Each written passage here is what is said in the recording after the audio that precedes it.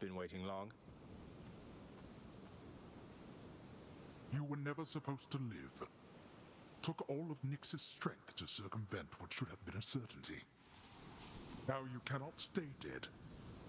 Such is the wry humor of the fates. Nix saved me, so according to the fates, I was never meant to be born, since neither you nor Mother are of the underworld, something like that? Or was it just another lie you told to Mother and whoever else? You think everything a lie. The realm beneath our feet was appointed to me on certain conditions, not that I had much of a choice. Among them, a one-time surface dweller such as I would never have an heir. You really believe that? Then why attempt to have a child anyway? You don't know anything. Why anyone would choose to have a child is a mystery to me. The fates said I would never have an heir. Perhaps this was all they meant.